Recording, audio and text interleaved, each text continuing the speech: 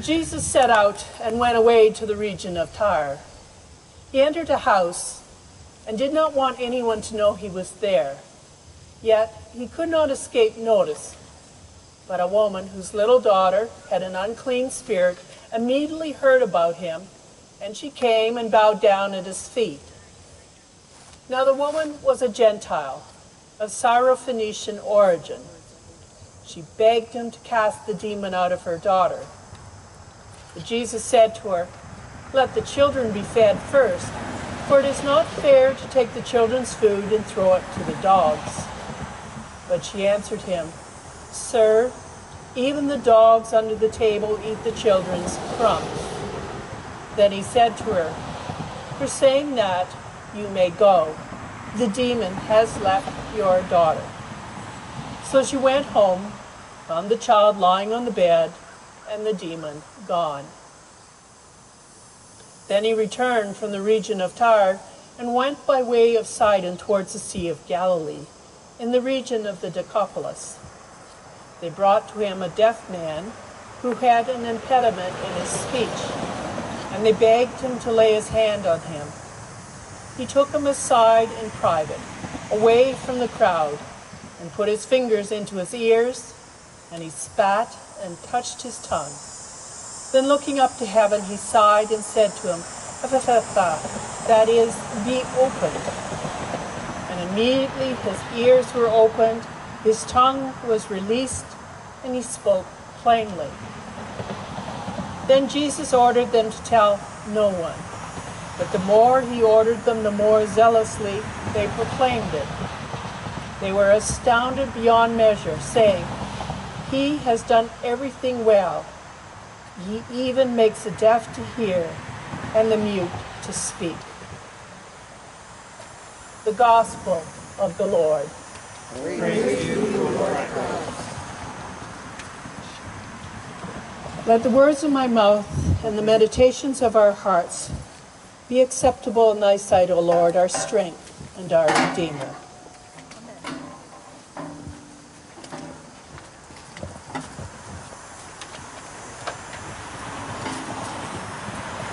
This gospel reading is quite shocking. We don't expect to see or hear Jesus ignoring somebody and then when he does respond, say, You dog. How, how can Jesus say that to a woman who's asking him for help? It's shocking. It's shocking to our 21st century ears. But at the time, it probably wasn't that shocking to Jesus' disciples. That's probably what they kind of expected. Um, the Gentiles, now we're in a region, uh, we're told that she's a Syrophoenician woman, and that means she's from the place of Phoenicia that's controlled by Syria, as opposed to the Phoenicians who would be um, controlled by um, Libya, I think it is. And We've got almost the same story in Matthew, except that it refers to her as the Canaanite woman. Well, one, the Syrophoenician woman tells us where she lived geographically. The Canaanite tells us what religion she was. And so for a Gentile woman to come to a Jewish man, Jesus, and ask, speak to him and ask for anything would have been outrageous in their culture. She's a woman, she's a foreigner, she's from a different, she's not Jewish. For her to approach him would have been outrageous. So for Jesus, uh, in Matthew, Jesus ignores them and the disciples say, tell her to go away. Just tell her to go away.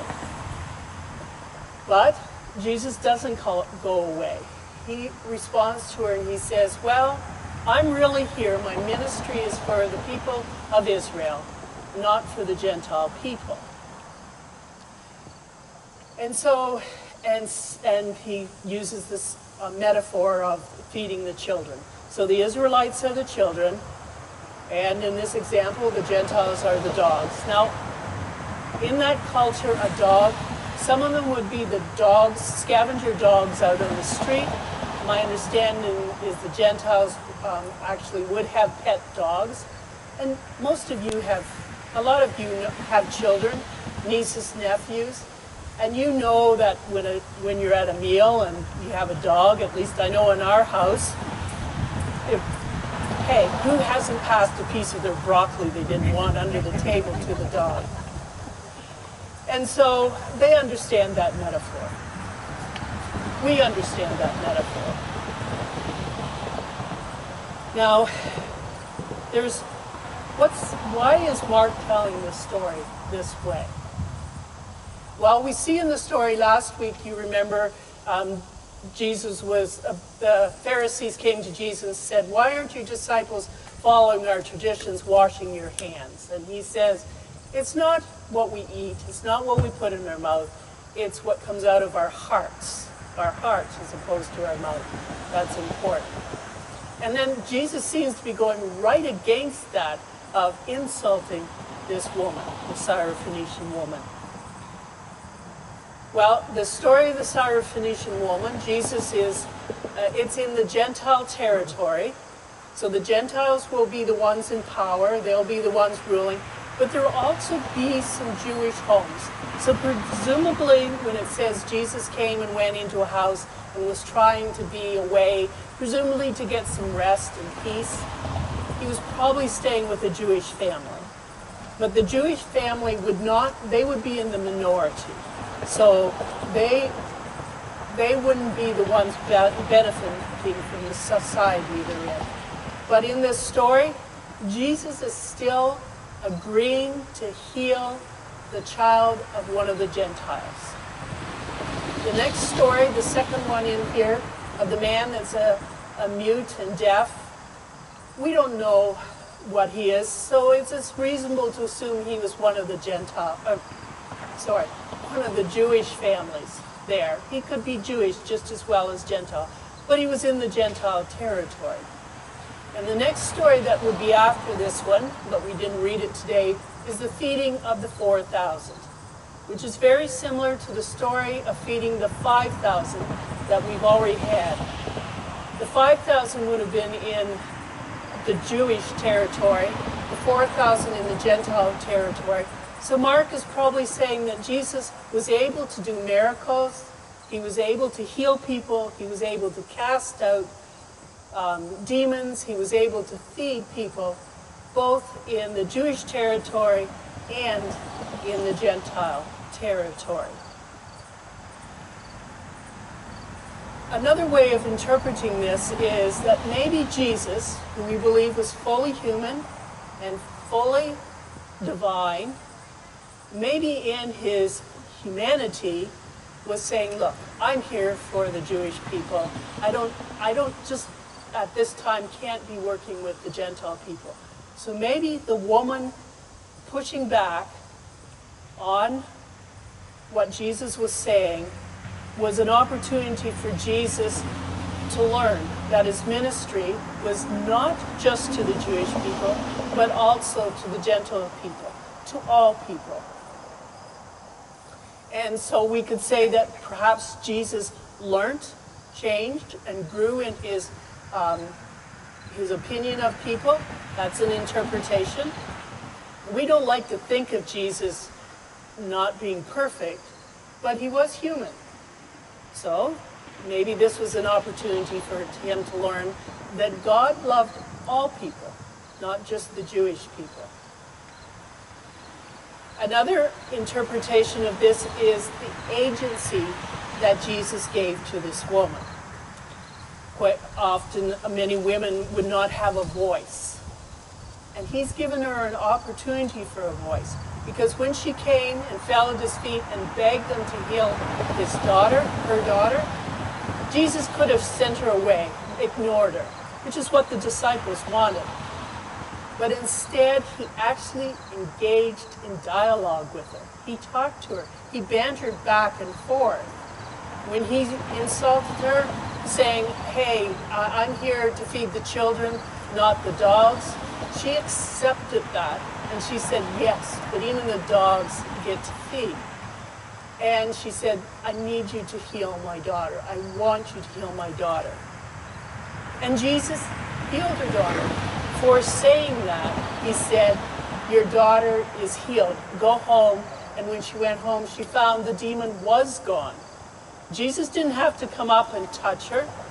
She was somewhere else. And Jesus' divinity, his power to heal, cast out demons, reached into the distance of wherever this child was. So Jesus has given this woman a voice. Another way of looking at this story is that I understand in the time, uh, in those times, that if people wanted to introduce a new idea, one way would be to go along with the traditional way of thinking about it and then make an abrupt change, turn to the left or right. So the disciples were totally okay with Jesus insulting this woman. They said, Go away. They weren't as shocked as we are at that. Where they were shocked is when Jesus actually engaged with the woman and healed her daughter. That would have been a great shock. That would have been the shock for the Jewish people, for the Jesus disciples, is the fact that he actually talked to this woman and healed her child. So, what does this story mean to us? Well, I think we today also have things that we come to believe, how things should be. And we also need a shock in our lives of being able to suddenly realize something different. And so perhaps for some of it, it'll be the shock of knowing that God loves you and me, but that He also loves the stranger. So we have Afghan refugees and asylum seekers who are seeking to escape from the war in Afghanistan and come here. That might be a shock for us to realize that God loves the Afghanistan people as well, or the people who are coming to our southern border. God loves them too. Everyone is a child of God. To know that someone from one of the South American countries is also a son or a daughter of God might be a shock for some people. Maybe not you, but when we listen to the news, we know that there's certainly people who don't want to think of Syrians, Muslims, Afghanistan's people, or people from Latin, Latina countries. You may not want to consider them as being beloved children of God. And so that may be a shock to some people to know that. And so what I ask of you is to consider where God's love, love of all people, is a shock to you. Where do you see God including someone that you haven't thought of including? Amen.